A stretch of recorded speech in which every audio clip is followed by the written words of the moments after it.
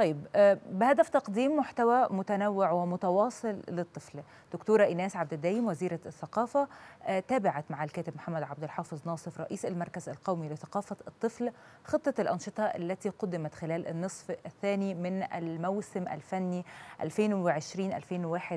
والتي شملت أربع محاور عمل تضم عروض كرتونية وحية متنوعة واحتفالات قومية وعامة. طيب عشان نتعرف أكتر على خطة اهتمام وزارة الثقافة بالطفل في الفترة طبعا اللي جاية. بيسعدنا إن إحنا يكون معانا عبر الهاتف دكتور محمد عبد الحافظ رئيس المركز القومي لثقافة الطفل. دكتور محمد في البداية برحب بحضرتك على شاشة اكسترا نيوز لو تعرفنا أكتر على التفاصيل الأربع محاور اللي اعتمدتها وزارة الثقافة في طبعا خطة العمل المركز القومي لثقافة الطفل. اتفضل.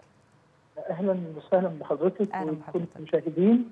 في الحقيقة إحنا ناقشنا مع معالي وزير الدكتور ايناس عبد الدايم والدكتور هشام عزمي الأمين العام المجلس الأعلى للثقافة. الخطة التي سوف نتبعها خلال الستة أشهر القادمة.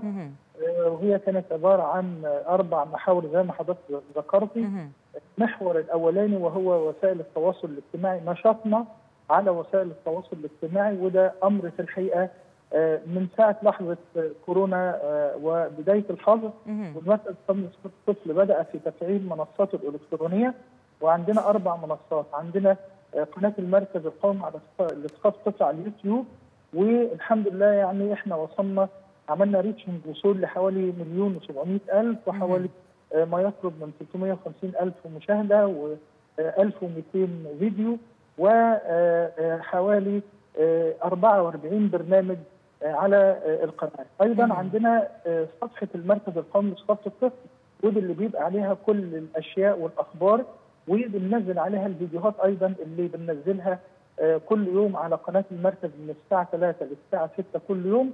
عندنا صفحة متخصصة بننزل عليها إصدارات اسمها صفحة إصدارات المركز القومي لثقافه الطفل وبننزل كل يوم أربع كتاب بي دي اف مجانا لاطفال مصر والعالم العربي أيضا لمن يود أن يخش على كل ده يا دكتور أحمد تحت أول تحت أول محور وهو منصات التواصل الاجتماعي. نعم. والحاجة الرابعة اللي هي موقع المركز القومي لثقافه الطفل وناقشنا مع معالي الوزيرة كمان اللي إحنا هنجدد هي وجهت بأن إحنا نجدد كمان اللغة بتاعه ونطور في ادائه وشكله علشان يبقى منصتنا جاهزة لأن إحنا لن نتخلى عن هذه المنصة سواء في كورونا أو ما فيش كورونا لأن دي بقت آلية في يد الطفل المصري والعربي والعالمي والنطق بالعربية في أي مكان فاحنا شغالين على ده.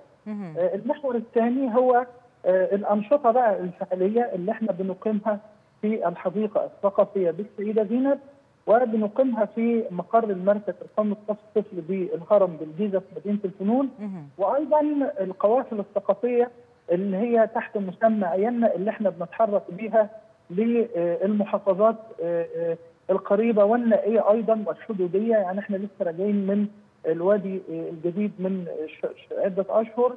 وراجعين من الفرافره والأنشطة بتاعنا المتواجدة في الحديقة الثقافية عندنا برنامج اسمه جمعة وسبت أجازة من الساعة 4 للساعة 9 كل يوم جمعة وسبت مجانا بنقدم في هذا في هذين اليومين الأرجوز وبنقدم الساحر وبنقدم مسرحيات وبنقدم المسرح الأسود وبنقدم ورش وبنقدم كورال سلام أغاني وبنقدم فنون شعبية واستعراضية وأيضا